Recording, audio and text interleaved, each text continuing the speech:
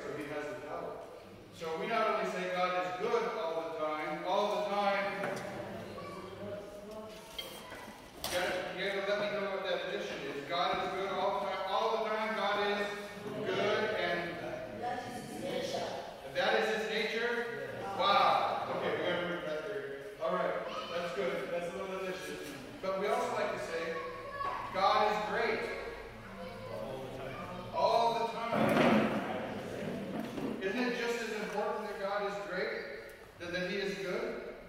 Which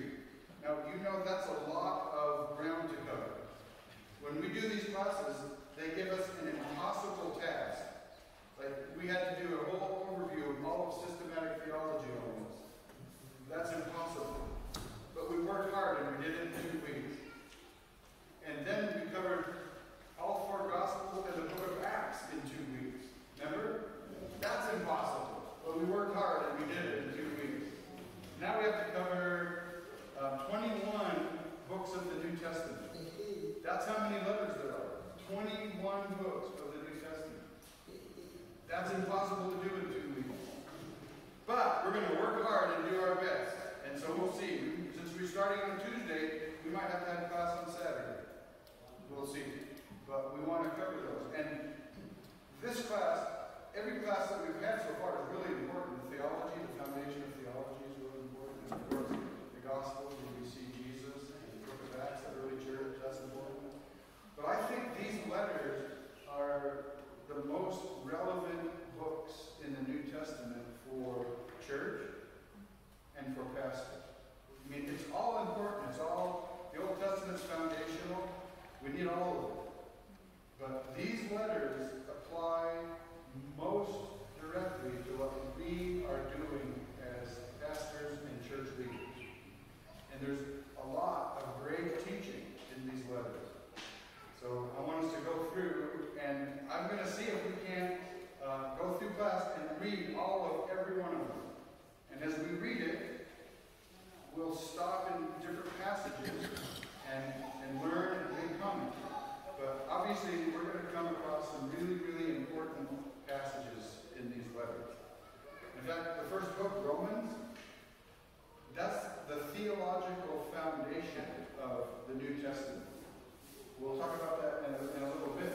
But Paul is really giving um, a broad theological teaching for the church in Rome. And we're very fortunate and blessed to have that book in our New Testament.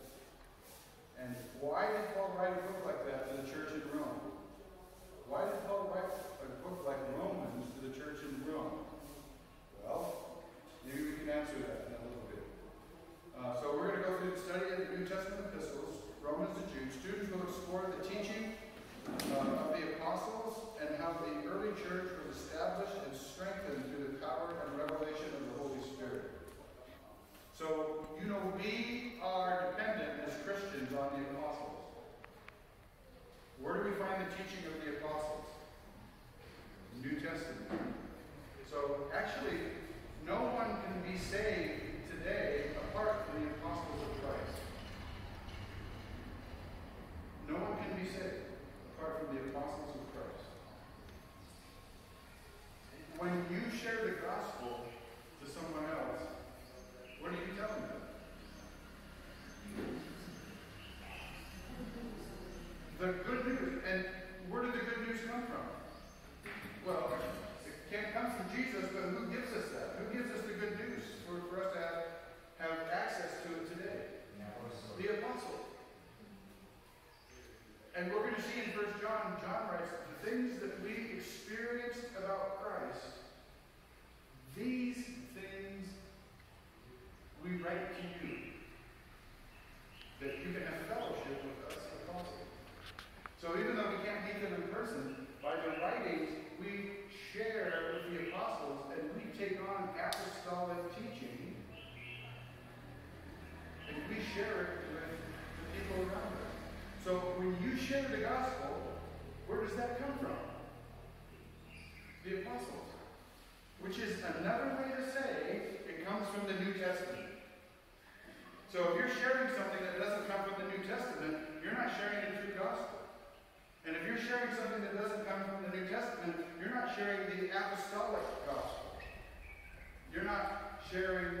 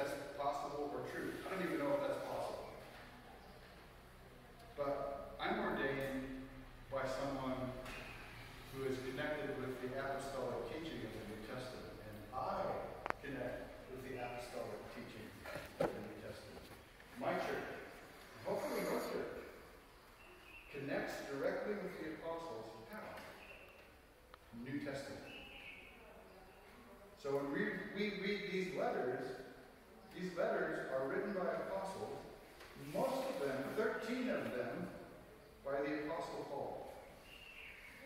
Then we'll see two by Peter, three by John, and a couple of others.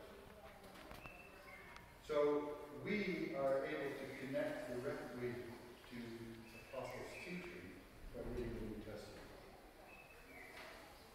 course is designed to contribute to the accomplishment of Mission Bible Institute. This is the school at Brad's Church. I don't know if you know Brad Massey, but he's a board member of the American side of Christ Transformation Ministry.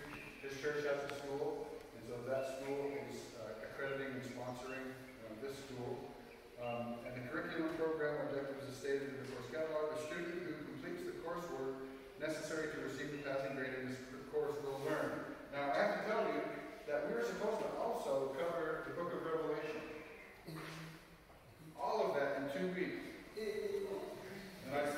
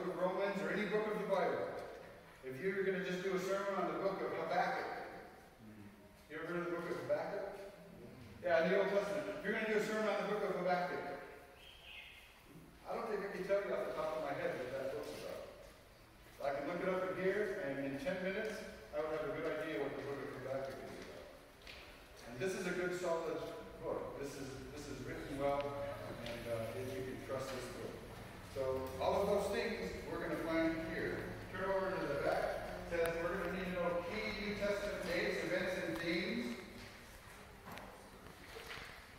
and the unique perspectives of each letter and how it contributes to our understanding of Christ, Christianity, and the church. And then finally, how information learned during this course applies to your daily lives as believers in Jesus Christ, like the also church leaders. With me? So one text talk through the Bible, that's this. And the great thing is, and I wish I didn't get to choose the text for the last course. Um, I would have chosen this. And then you'd already have this book. But if I'm teaching in the Bible again, this is the text we're going to use. Old Testament, Revelation, whatever. Um, this, this would be the text. Revelation, we might have another textbook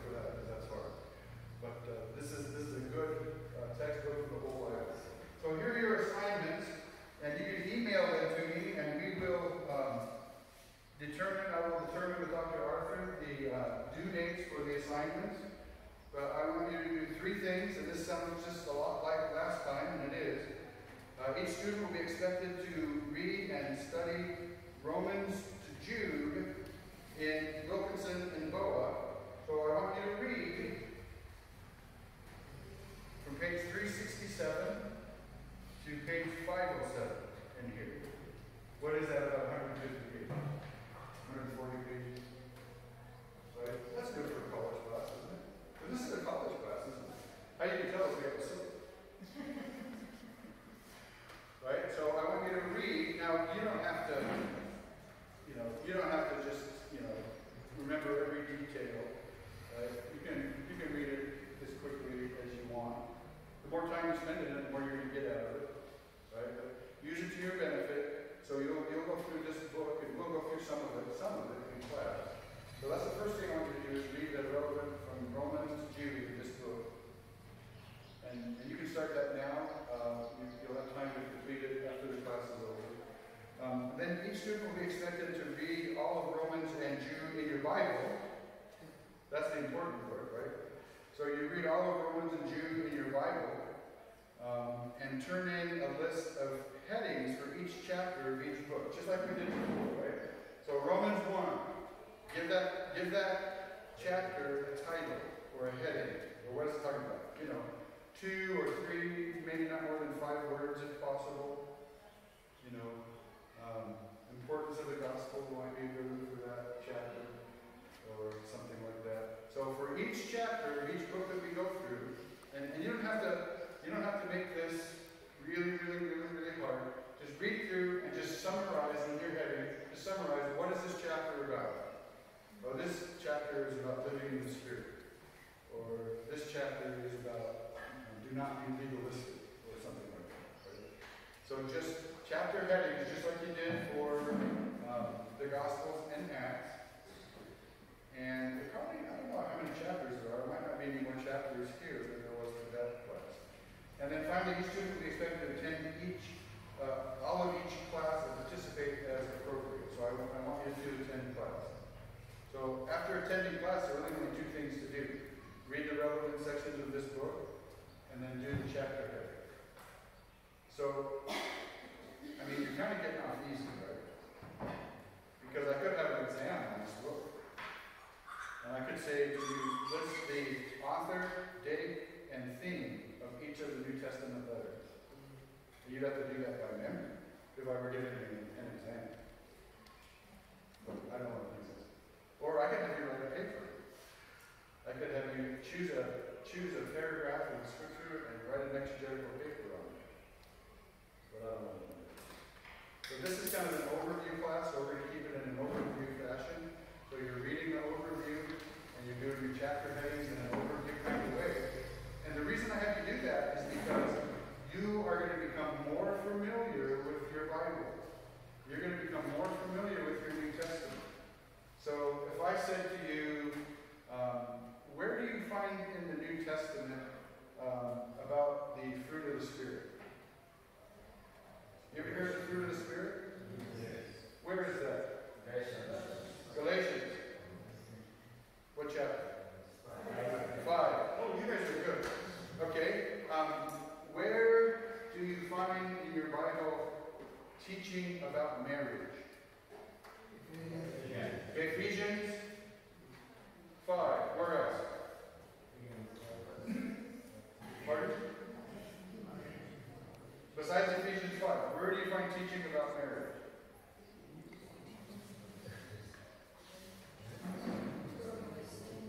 1 Corinthians 7 says, if a spouse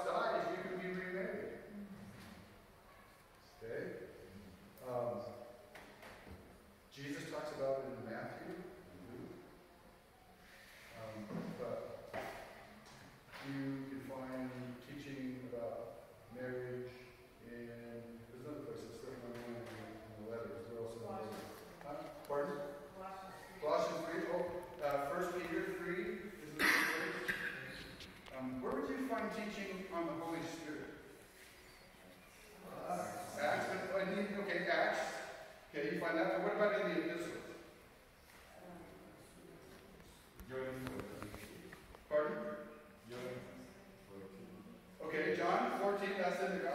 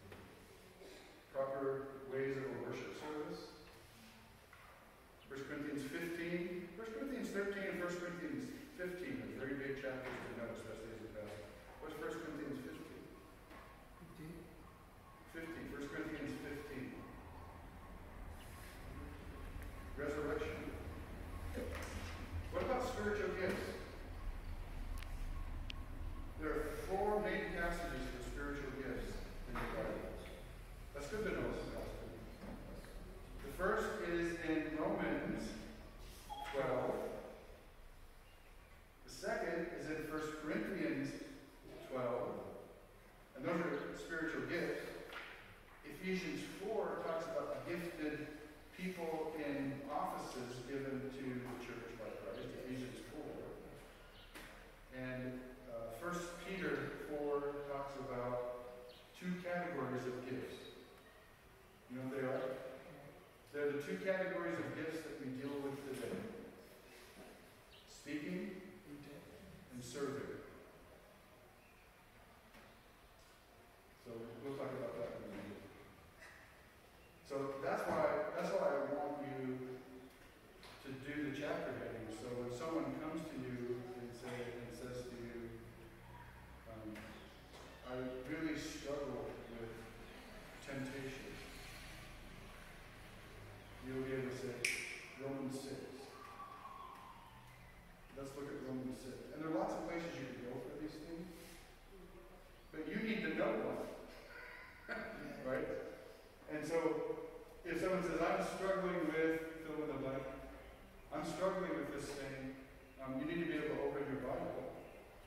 say, well, let's look at this and see. Someone says, I, I want to divorce my husband, or I want to divorce my wife.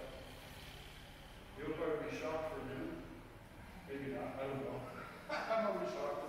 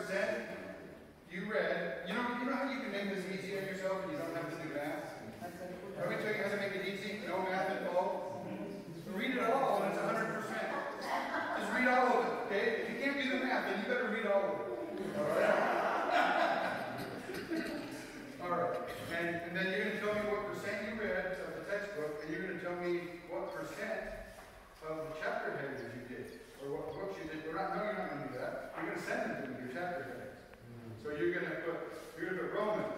One, two, three, how many chapters in Romans? 16. Oh, you're I get tired of that. She's so excited. She can't do anything. So Romans 1 to 16, and then 1, here's your heading. 2, here's your heading. 1 line, here's your heading. And the next book, Romans. What's the next? Oh, it's a good thing you're here. Um, Romans. What? Um, First Corinthians. How many chapters in First Corinthians? Close. No. Sixteen. again. So First Corinthians 16, chapter heading preach one. So you got to send me a chapter heading. You did that, right? every cent of percent you raise